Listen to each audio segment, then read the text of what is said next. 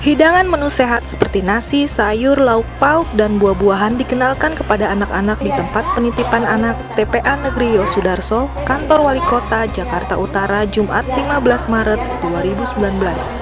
Setiap dua minggu sekali, khususnya di hari Jumat, pengelola TPA Negeri Yosudarso berinovasi melalui kegiatan makan menu sehat bersama-sama. Para pegawai Pemkot Jakut yang menitipkan anaknya di sini akan merasa tenang bekerja karena berada di satu lokasi dan bisa ikut memantau anaknya yang masih balita.